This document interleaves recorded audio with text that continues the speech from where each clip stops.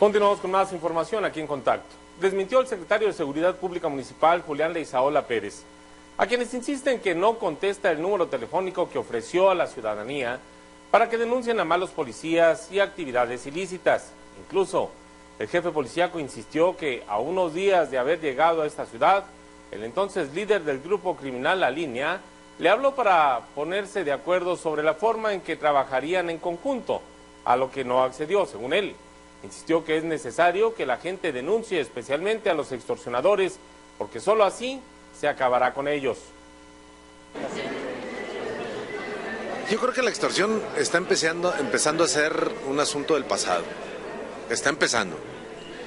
Yo sé que todavía hay gente que paga, lo sé.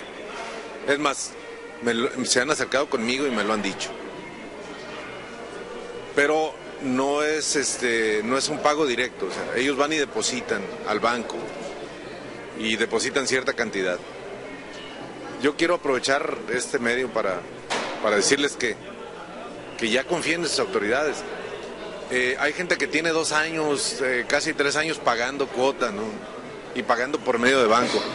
Y decirles que eso que están pagando, seguramente le están pagando a un muerto o a alguien que está en el, en el cerezo desde hace mucho tiempo.